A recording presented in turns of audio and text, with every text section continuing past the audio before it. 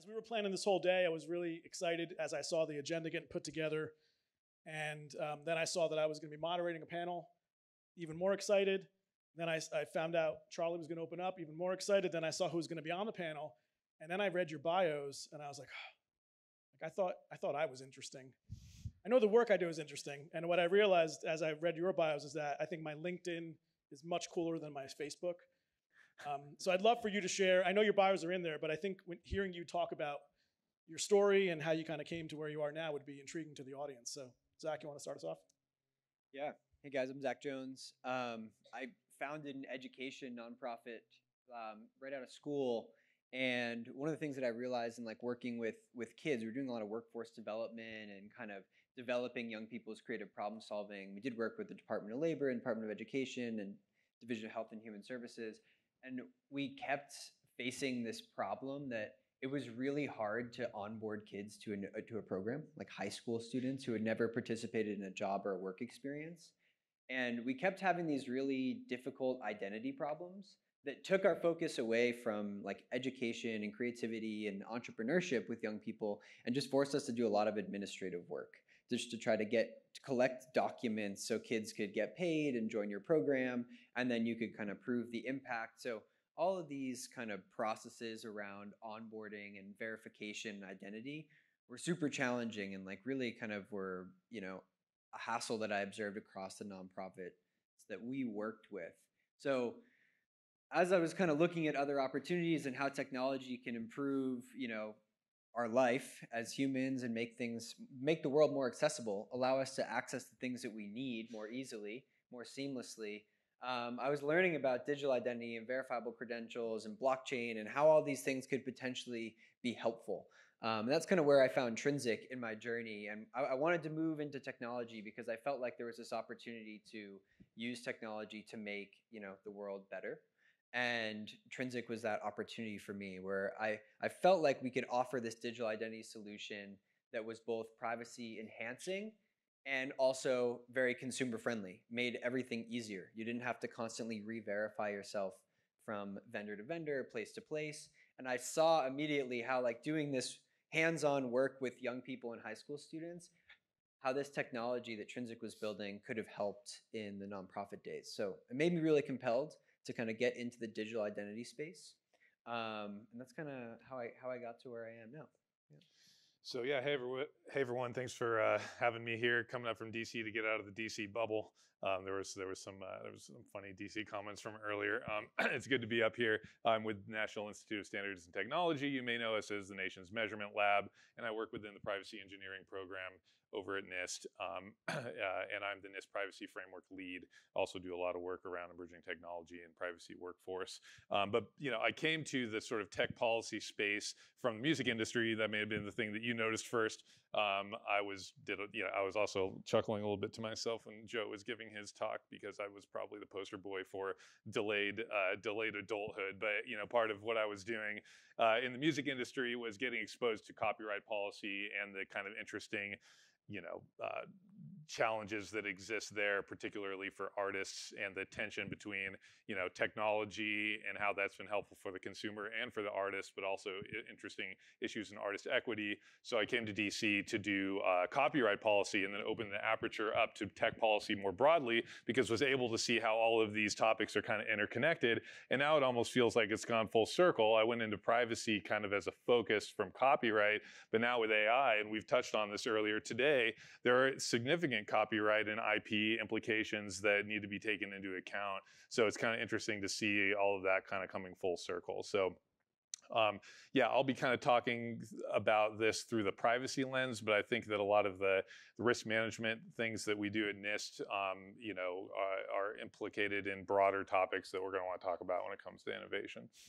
Great, great, great to have you both here. And it looks like based on some of the words coming through, I think we're going to hit on hit on many of those. So um, let's kind of take the great starting point that Charlie gave us and stick there for a moment. Um, and Zach, I'm going to ask you around when you think about culture, right? And I think labor rights come into play and and worker well-being, obviously. Any thoughts on strategies that can be employed to address those um, concerns from employees? Yeah, so at, at Trinsic, we provide this technology infrastructure that companies use across different sectors. And one of those is in the supply chain space. So one of the companies that uses Trinsic is called Blue Number. And they are basically a worker voice and worker rights platform, primarily in developing nations and where there are, you know, goods being manufactured, electronics being manufactured, and companies want to be able to make statements that their workplace is free of forced labor, free of child labor.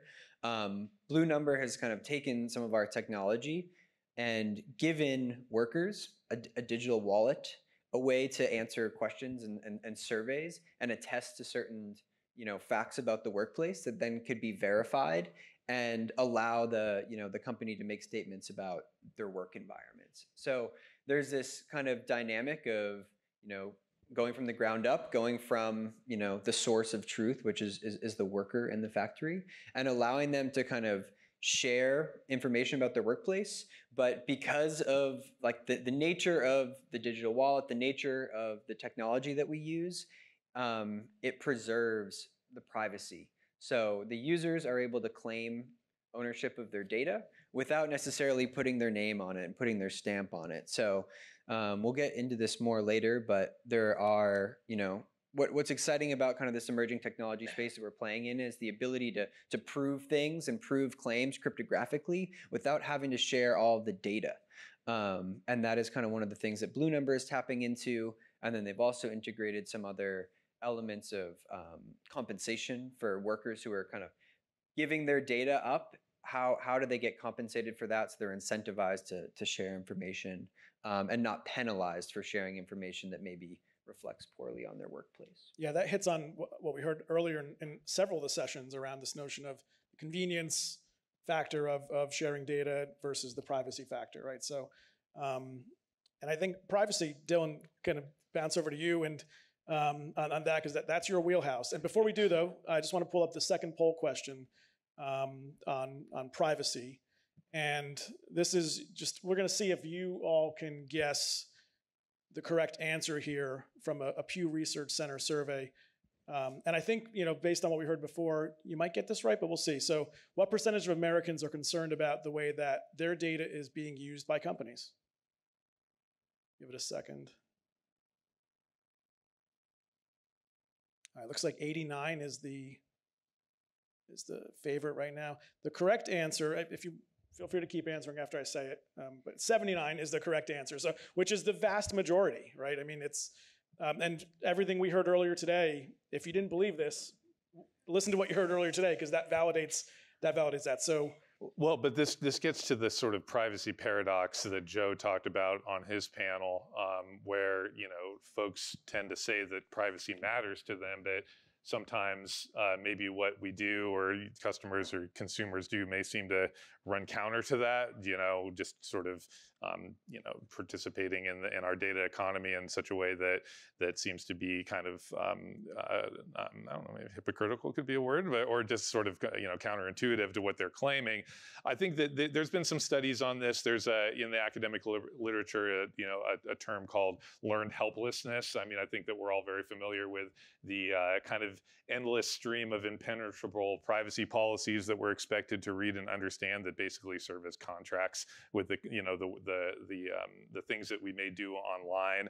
Um, and there's an extent to which you know I think that there's also just simply an information asymmetry where folks may not fully understand exactly what's kind of going on under the hood.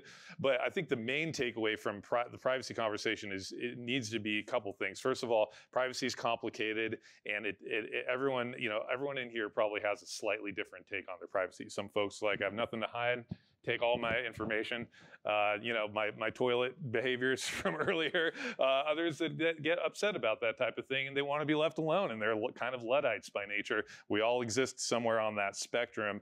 I was interested coming up here, again, kind of being in the DC bubble, but also I work in privacy risk management writ large. So I haven't actually had much of a chance to interact with this, with the supply chain stakeholder community, which is great to be here. Hope to talk to some of you after this. But I was kind of thinking, well, you know, when I think of supply chain, it's oftentimes times it's just sort of like, well, there's not a lot of personal data involved. There's certainly lots of data involved. We've talked about that, the uh, uh, incredible insights that can be generated. But going through this these conversations, it became very clear that yes, of course, there's personal data involved. Um, there was an interesting, Julie mentioned this almost reverse supply chain where the, the, the customer, the individual is now the supplier, where maybe you're reselling, you know, goods that you own in your closet. My wife does that all the time, and that you're now going to be sort of supplying through a chain to another customer. There's going to be a lot of data involved there, and then you know the sort of workforce component where there's going to be um, there could be uh, ways in which an organization may avail itself of tools and technologies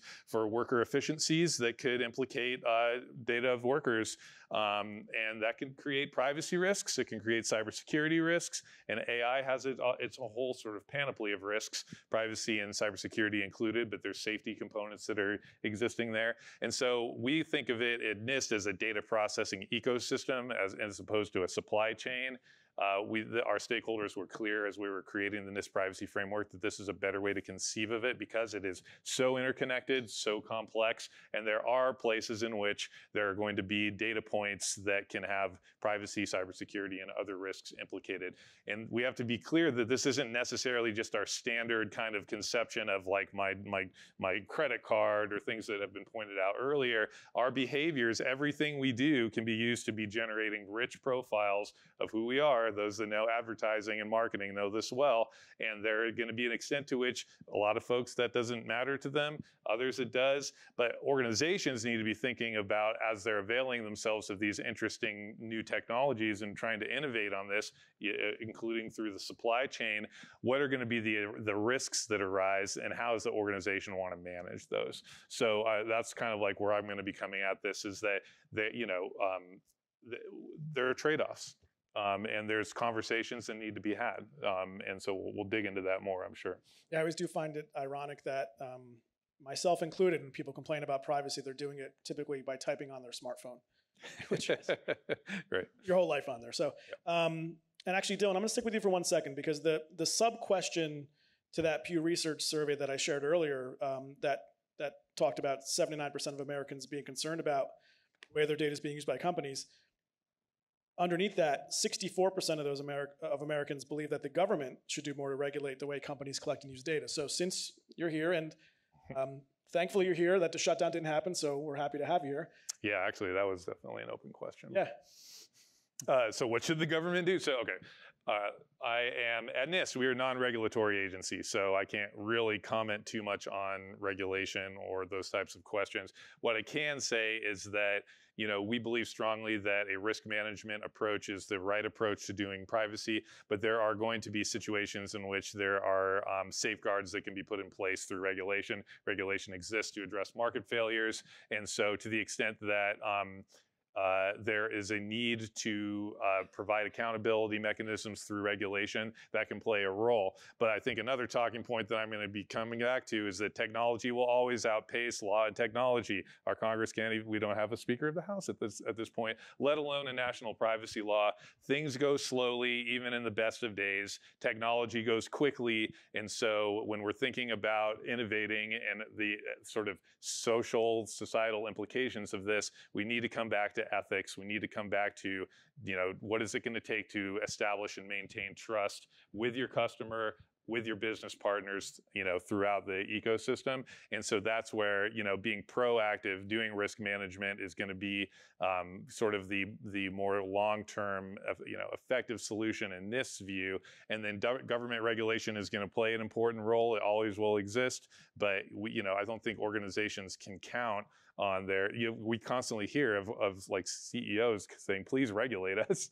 so you know that we that may or may not happen, but in the meantime, organizations, um, uh, you know, in order to do these types of, of things that we've been talking about in terms of building trust, you know, maintaining maintaining kind of like a healthy ecosystem, so to speak, um, are going to need to do the right thing, even if it's not illegal. So, and Zach, I think you've got some interesting things to share on the right thing. Definitely not on the legal, on the illegal side, but on the right way to see if you know as, as supply chains are getting more interconnected and data driven, right? I think I'd love for you to share some of your thoughts on ways to safeguard information. Yeah, so I think that kind of the data exchange paradigm that we operate under at Trinsic is that that users are consenting to their data, and users own their data, and then they can permission it and share it with people in the ways that they choose, right? So if you show up to an e-commerce website and you own your data about kind of your preferences and your sizes and your habits, it might it feels a lot better to share that with you know J Crew than it does for J Crew to say we have found the this IP address's search history and it looks like you're a medium. Like that's really creepy. But at the end of the day, if you want a personalized experience, there are ways to go about that in a more user centric manner where people can own their data, they can share it, and explicitly grant permission to it. Because people want customization, people want personalization, but people don't want to feel like the company knows everything about me and knows you know my sizes and habits even if it's true right we know it's true we know that that data is being collected good or bad but you know right now people don't have a great way to kind of own, own their data and share it in a way that makes their lives easier. So that's a lot of the stuff that we focus on um, and it kind of has implications when you start to think about you know supply chain traceability certifications things that kind of producers will have to verify about themselves and the or the origin of supplies, materials, things like that, oftentimes puts a large burden of proof kind of on like the smallest or the you know organizations.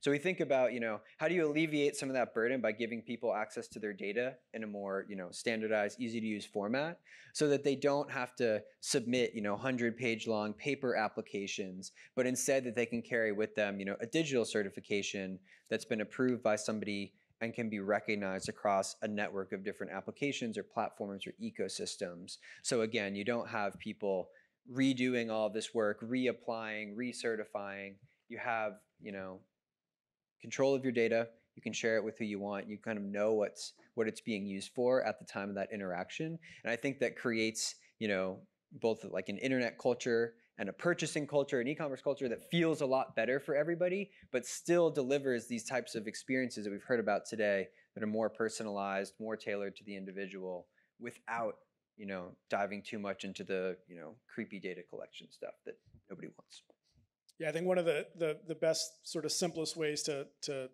to convey what you just said, I actually heard on GS1 US Next Level Supply Chain podcast. Shout out to the host, Reid Jackson, back there.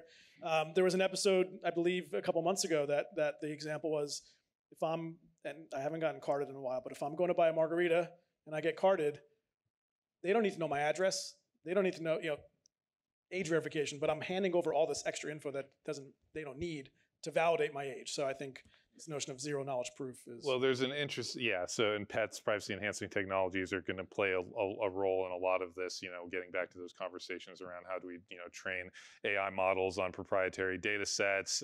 We've got a lot of issues with you know um, just finding data generally um, especially now that the you know the, the internet which has typically been the source of data for large language models is getting polluted by its own data by its own ai in an interesting way as uh, one of the panelists noted. Um, so, but when we think about things like AI, it puts a strain on the traditional privacy principles, the fair information practices, for example, data minimization.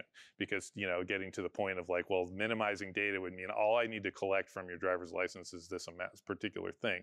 But how, what do we, how do we handle this principle when as much data as possible mm-hmm. is necessary to kind of feed these hungry models.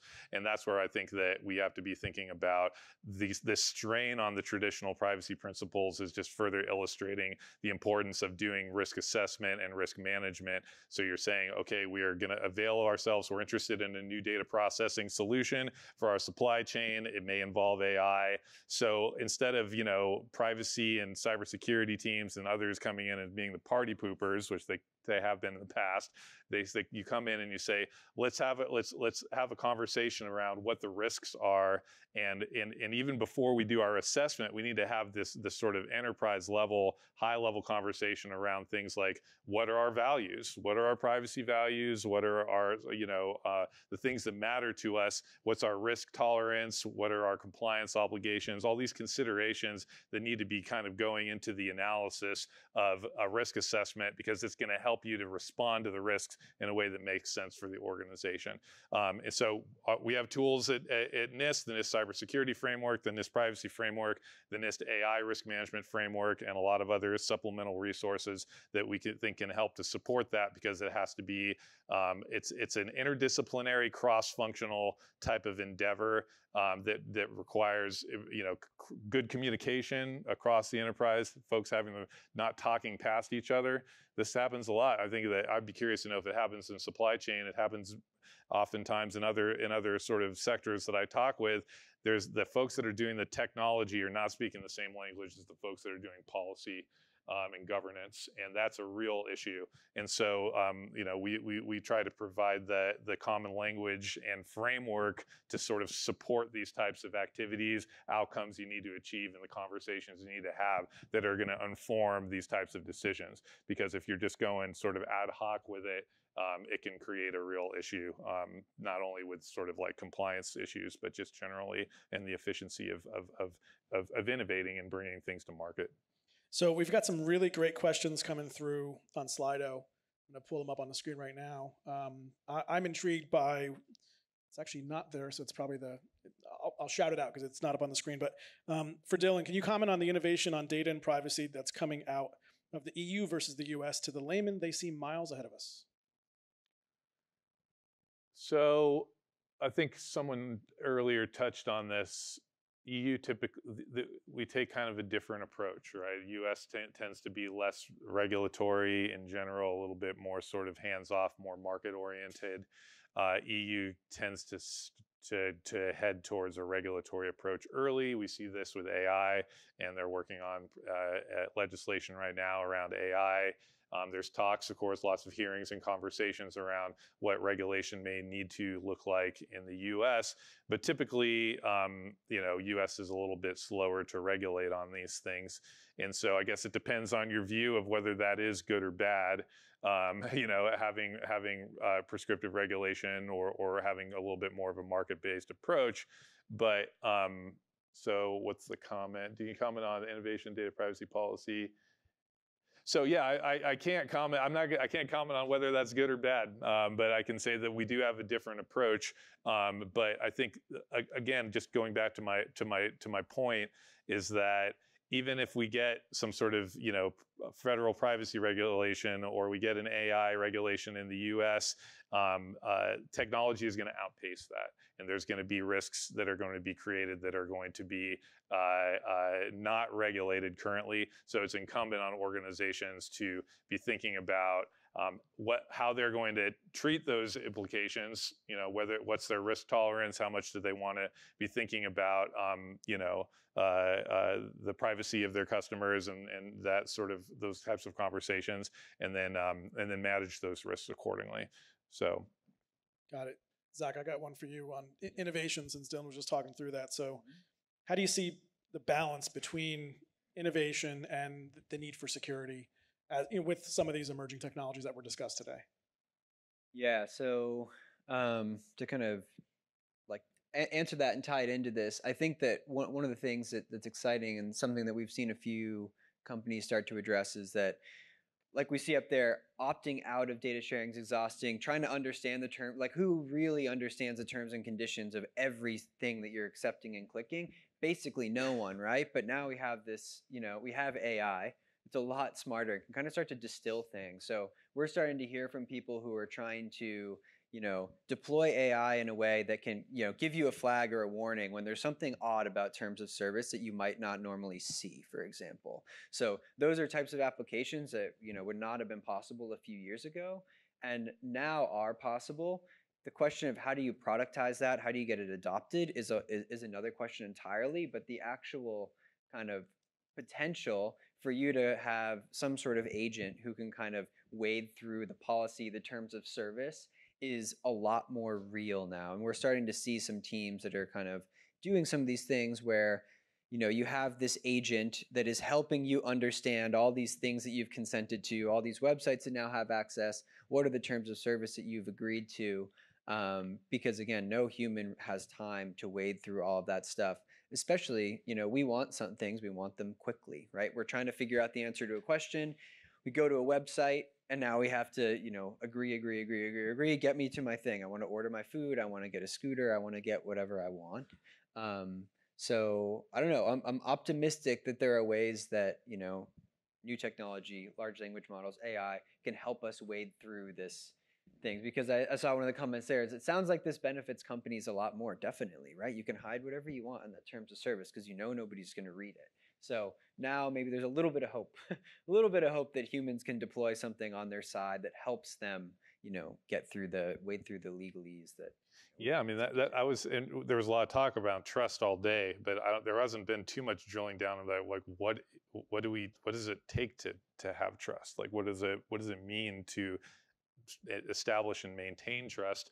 I like to think it's it's actually maybe gets overthought too much because we just think about like relation, relationships with each other. Like, what's gonna what you know what is gonna have me trust somebody? Well, uh, there's gonna be a few things. First of all, like uh, the, the, this person is going to do the right thing even when they don't have to. They're an honest communicator. They're not trying to hide the ball on anything.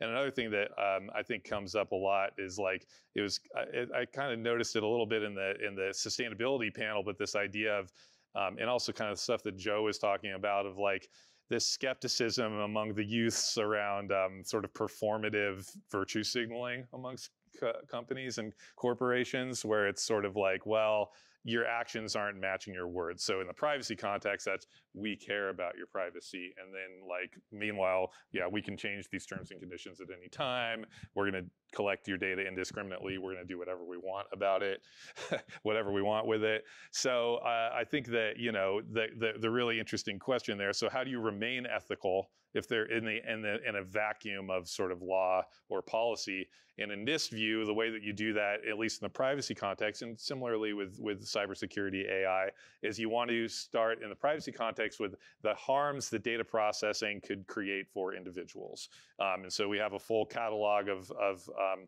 what we call privacy problems. Um, they're similar to Solove's taxonomy of harms for those that are that are privacy nerds. Um, and so the idea is to recognize, is to identify the extent to which your data processing activity could create these types of problems to individuals.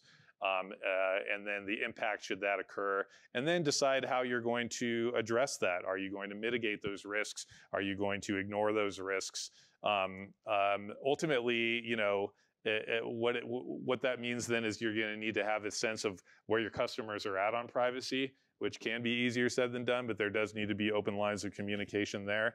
Um, and also there needs to be, you know, an understanding about where the community is on these types of on these types of questions. And so, um, you know, you do that risk assessment, and then at least what you're doing is you're making a good faith effort within your organization to identify the these issues that are happening as a part of your data processing, and then responding to them, um, you know, as you want as an organization. But you know, if it's going to be ethical, it'll be in a way that is resonant with your customers and your business partners.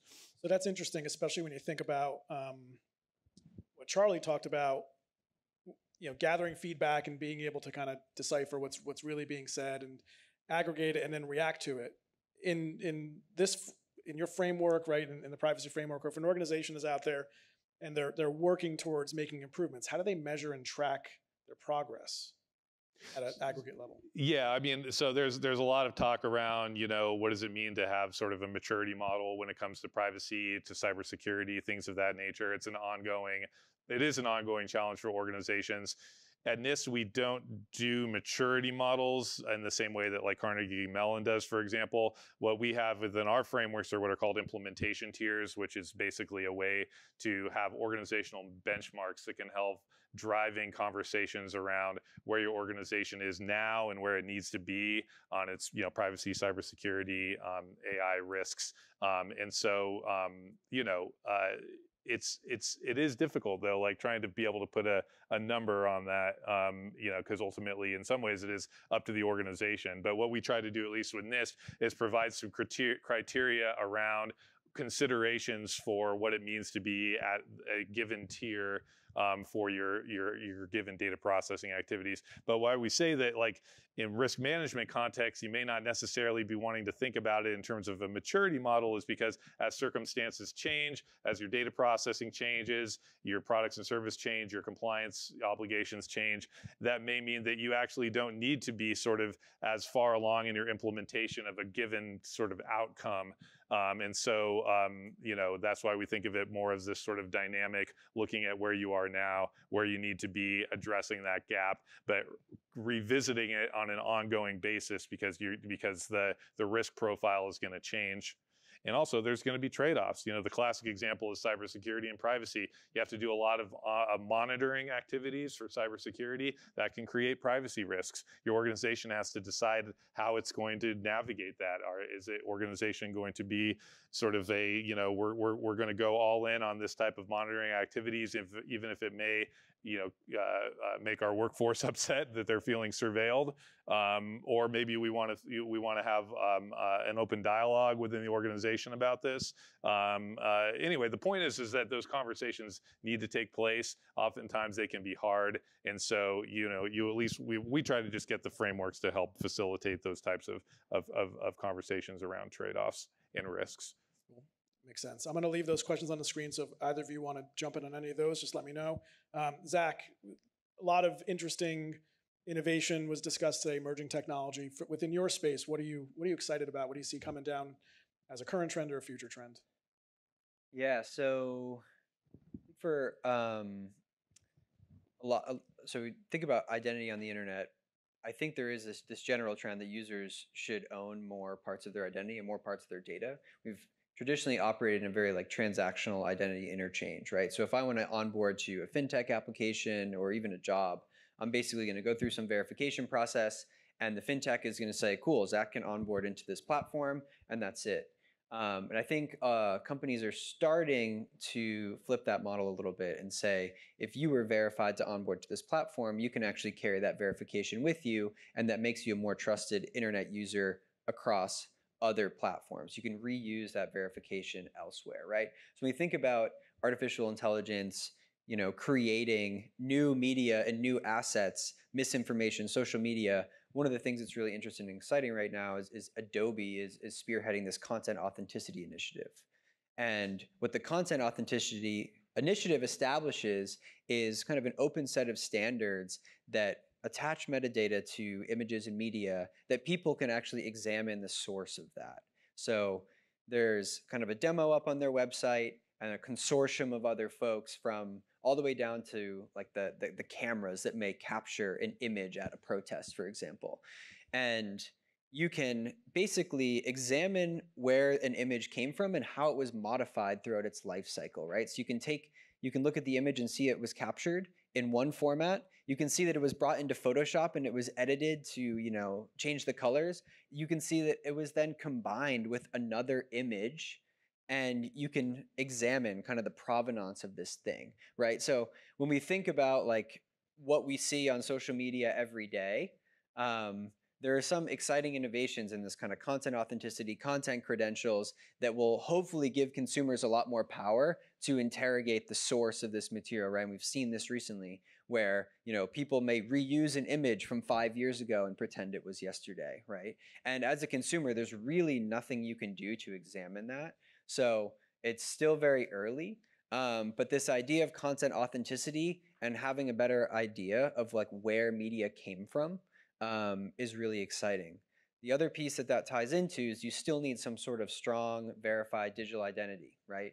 Because at the end of the day, if I can claim that I am somebody else, that I'm a reporter for the New York Times or for the Associated Press, and then somebody examines the media I created and it looks like it came from the New York Times, but it actually didn't, that's still a problem, right? So you need to pair both of these things together. You need that that provenance that tells you where the image came from, but you also need that strong form of identity at the very beginning that says that like who you are and that often comes back to, the, again, this kind of verified identity, which may come from a, do a government document um, that kind of establishes, you know, that you are your legal name um, and that you, you know, maybe have some sort of other authority or credentials that allow you to speak upon a topic. So um, definitely excited about, you know, the potential to kind of combat misinformation, give internet users more power to figure out, you know, where information is coming from.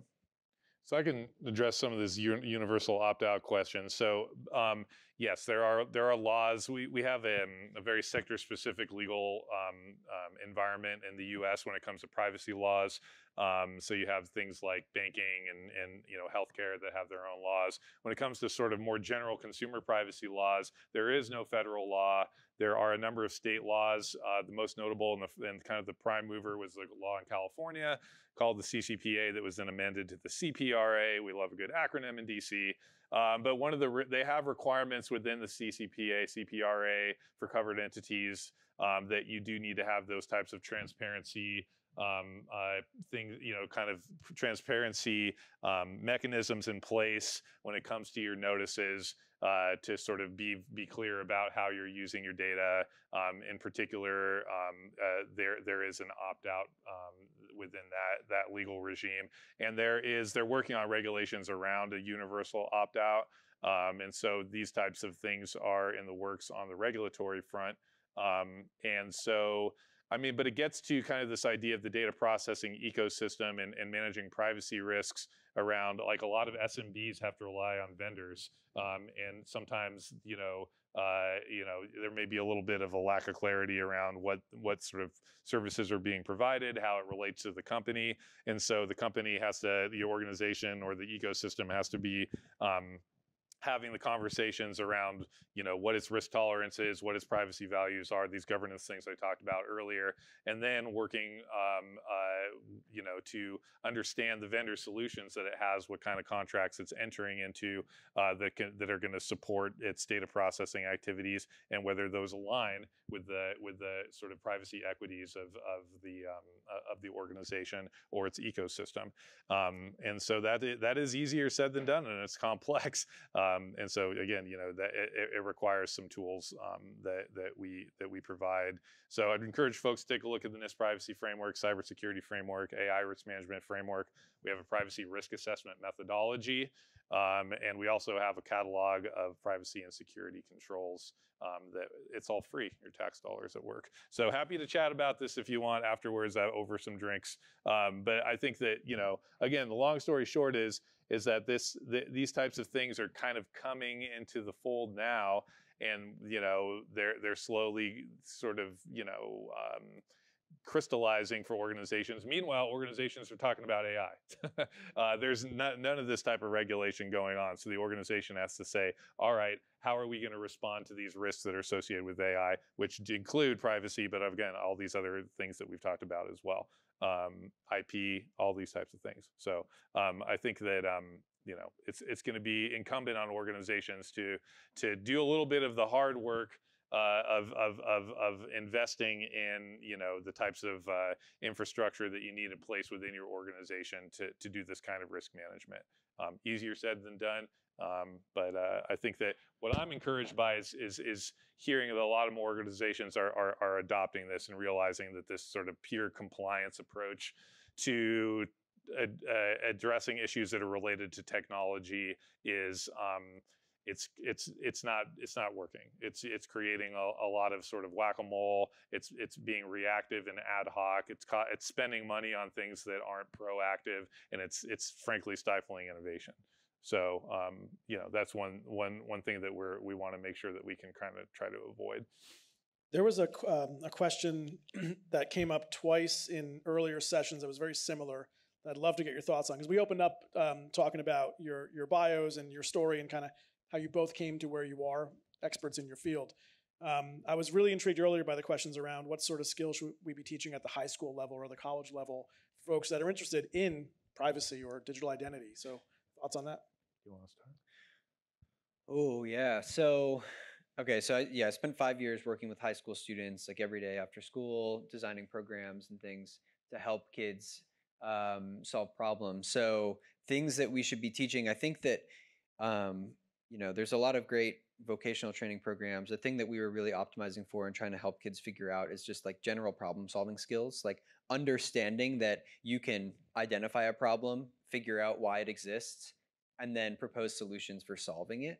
Um, so this is kind of like this general like design thinking mindset of just having empathy, um, you know, being able to clearly define a problem, ideate, and then prototype solutions, right? So there's there's um, I don't know, kind of kind of a like a surprising or saddening like like lack of that in a lot of the world and a lot of education, right? Where we actually would talk to kids about what they're interested in, and they're actually interested in a lot of stuff.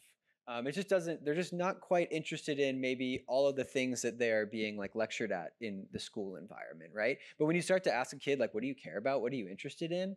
Um, they kind of light up and start to talk about it. And it may not be the things that you want them to say, but they are the things that are real. Like they are actually really motivated and excited about things, and they see problems in their community and in their lives and you know in their schools on the teams that they're a part of and if you kind of give them a little nudge to start to solve those problems, um, they start to do amazing things. And I think they start to build skills that are like really valuable throughout the rest of their life and allow them to acquire, you know, whatever discipline specific skills later on in life.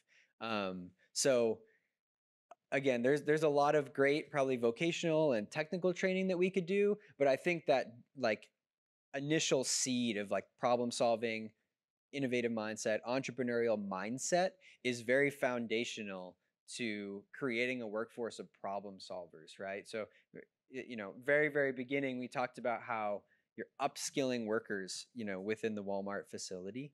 Um, and you're upskilling them into higher level thinking of problem solving, not rote memorization and not just, you know, pick this thing up and put it over there. So that initial problem solving push i think could happen very very young and there are some great you know schools and frameworks out there that are creating kids that are super curious and motivated and passionate um, and then there are other schools that you go to where you see that that's very clearly lacking um, so yeah, um, we're, we're doing a lot of work on on workforce, both cybersecurity and privacy workforce. I'm leading a pro- public working group around privacy workforce, where we're creating a taxonomy uh, around what it means to have what we call a workforce capable of managing privacy risk. We're, we're really keen on f- that framing around privacy and also cybersecurity because it's again gets to this interdisciplinary, cross-functional nature of these types of things. So we can imagine that um, you know, it, it can be tricky calibrating what does that exactly mean on the ground. So if you have someone, if as we get more towards like reaching the supply chain in, into the home, for example, um, and you can imagine someone that comes to your door that maybe wants to do some kind of, they have some sort of identity verification that involves taking a picture or something. Well, is, is that person sort of trained up on the fact that like they probably don't want to take pictures of someone else in the background of the house because there could be you know uh, legitimate privacy concerns there. Other use cases in which you know as we we move towards immersive technologies um, there's just going to be more and more of these kind of risks that are um, uh, that are inherent in the everyday everyday sort of operations of an organization. So we're keen on on identifying the tasks, knowledge, and skills that are necessary to support these workforces. Um, so it's it's a work in progress. I mean, again, this is still kind of a nascent stage, but to your point, it's really critical that that that goes um, all the way down through the sort of education pipeline um, so that um, these types of these types of skills are, are are being are being taught. You know, some of them are going to be soft skills, and some of them may be more technical. Yeah. So if someone wants to get into privacy, they don't have to be a musician and then go to law school and then end up.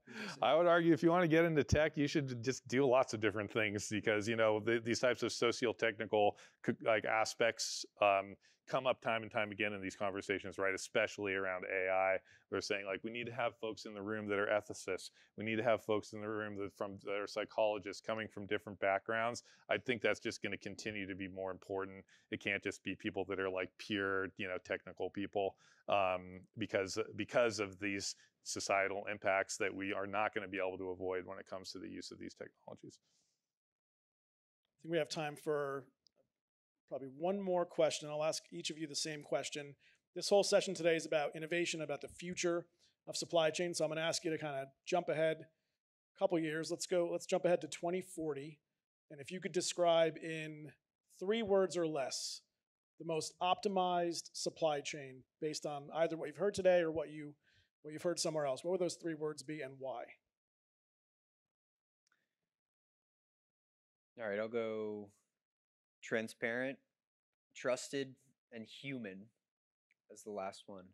Um, we've heard a lot about transparency and traceability today. I think it's you know consumer preferences are changing. People want to see where things are coming from, how things are produced, if they're safe, if they're using you know chemicals that may be harmful, etc. There's a lot of push for that. So I think the transparency is really important. Um, there's a need for all of that you know data to be trusted and verified and real, um, which we've also heard a lot about. Like the quality of data will drastically you know impact what conclusions we can draw from it. Um, and lastly, human. I think like people like we've like we've talked about, maybe there aren't as many humans moving things, you know, within a warehouse, but there's this in-home delivery component, and there's this more human service delivery com- piece. So you know, we we heard Walmart actually will have you know as many or more associates, not less, because of automation. Um, and I think that what people want to do is connect with with humans, right? Like I don't want my coffee from a robot, even though it might be cheaper. I want to talk to my barista um, because that human experience kind of grounds us back in, in in reality. So The quote from the associate in the Walmart video that was shared this morning I'm part of the future of Walmart. That was such a powerful quote, embracing technology, right? Not being afraid of it. So, Dylan, you want to close? 13 seconds. 2040, I'll be 60. So according to Joe, I'll be having my midlife crisis, which is interesting. um, trustworthy, innovative, risk informed. We talked about trust a lot. I think that I, I want to connect innovation and, and risk because again, there's an aspect of if you're ris- if you're innovating, you're sticking your neck out a little bit. You're taking some risks. You're you're you're not just playing it safe. But you know, in order to do that, you need to have a really clear-eyed sense of what the risk environment looks like, so that you're making an informed decision and knowing how far you want to go when it comes to to, to doing something new. So that would be my answer. Great. Please join me in thanking Zach and Dylan.